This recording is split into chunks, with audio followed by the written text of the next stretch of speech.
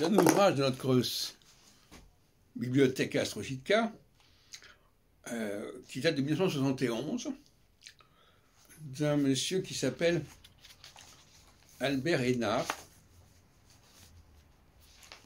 et qui s'appelait 20 jours à Moscou et à Leningrad, ou le badaud critique.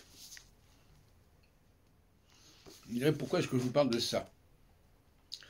Parce que ce monsieur m'a rencontré en 69, au mois, au, mois d'août 69.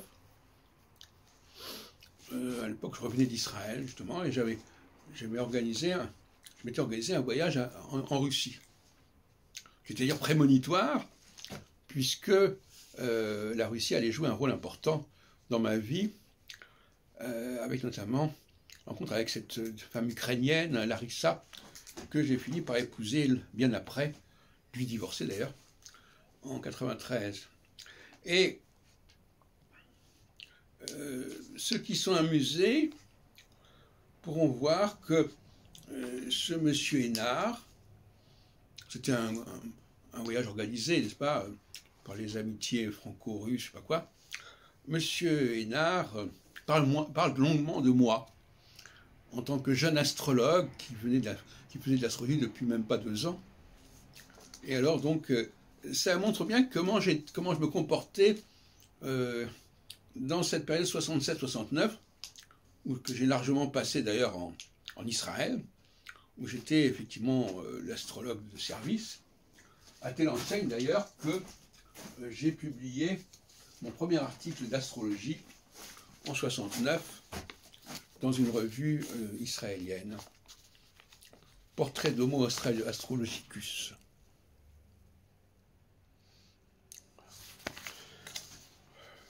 Un journal d'étudiants euh, de l'Université hébraïque de Jérusalem.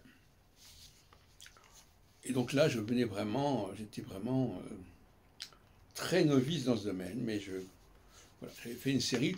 Apparemment, il a première, seulement le premier volume est paru, je me souviens plus très bien. En tout cas, portrait de l'homo astrologicus c'était assez bien trouvé. Donc pour vous dire que, que dans les années 67-69, c'était presque à cette période-là que j'étais le plus astrologue, au sens traditionnel du terme. Et encore, j'étais déjà assez militant pour l'astrologie.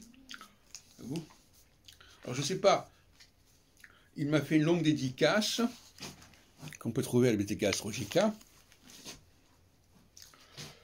Mais euh, je sais que, par exemple, page 90,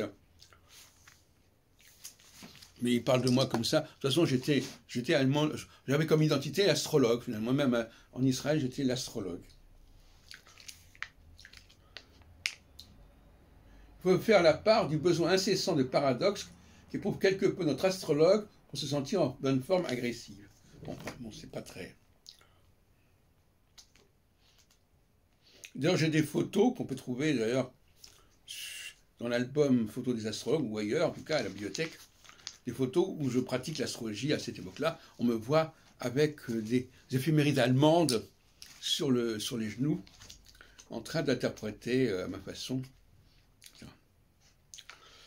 euh, j'aurais d'ailleurs une, autre, période israélienne en astrologie, en 76, où j'ai passé beaucoup de temps avec notamment les Russes, justement, les amis russes que j'ai rencontrés en Israël, euh, autour de mes travaux à, l'époque, euh, qui valaient ce qui valait, sur l'astrologie, sur la typologie astrologique.